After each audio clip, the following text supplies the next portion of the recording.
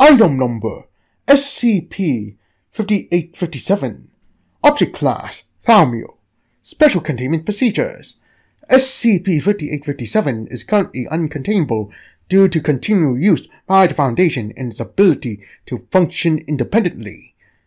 The code and file of SCP-5857 can be viewed by Level 5 personnel at the discretion of O58.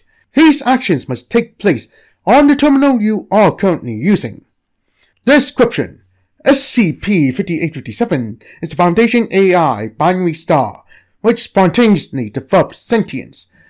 The time span and details of this process are currently unknown by both SCP-5857 and the Foundation. SCP-5857 is currently installed in all man-made extraterrestrial objects and technological equipment on Earth developed for space observation.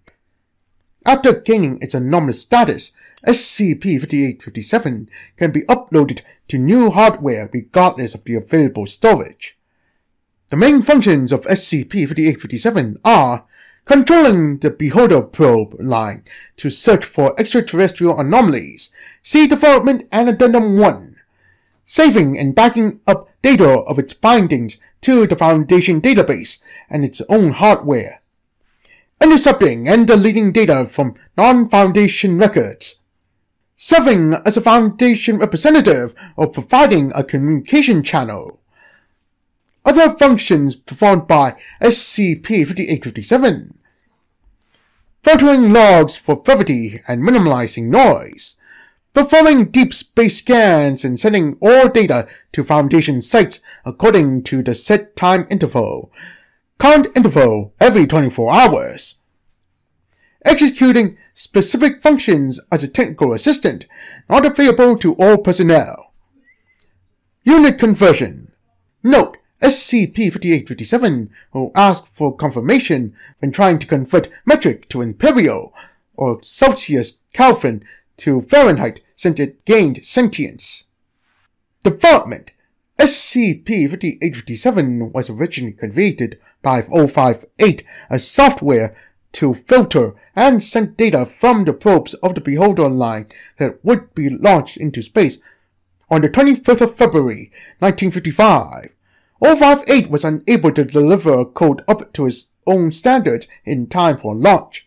He rewrote the code to work independently and self-improve where necessary. With these changes and regular updates, O58 was able to include all intended features. These facts were known to the O5 Council at the time. The probes of the Beholder line were launched on the 25th of February 1955 with SCP-5857 in their hardware as planned. Additionally, binary star files were implanted in the hardware of all space programs of both the Foundation and other parties.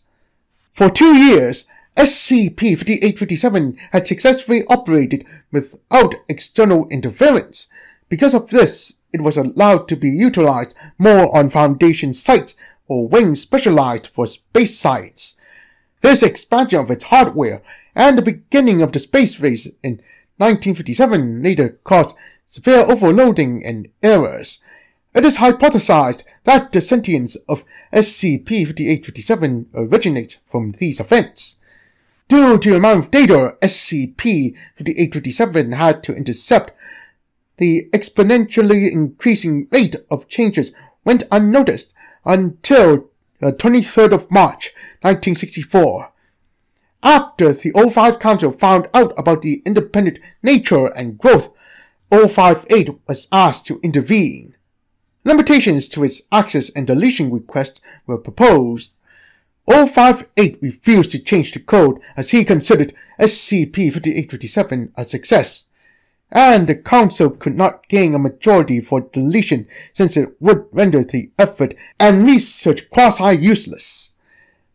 This did not stop O56 from producing malware and other AI in attempts to replace SCP-5857 in future space programs. Because of the rapidly expanding modernization, the offenses of O56 had been growing in number to the displeasure of O58. Addendum 1. Beholder probe status. Beholder 1 active. Beholder 2 active. Beholder 3 searching for SCP-5623 Star Euthanizer. Beholder 4 active. Beholder 5 active. Beholder 6 ever. Beholder 7 active. Beholder 8 inactive in orbit around SCP-5843 Eyewitness. Beholder 9 active. Beholder 10 active. Beholder 11 pending. Manual input recommended. Beholder 12 active. Beholder 13 active. Beholder 14 semi-active on alert. Beholder 15 active. Note, full statuses of the probes are available in their respective files or terminal.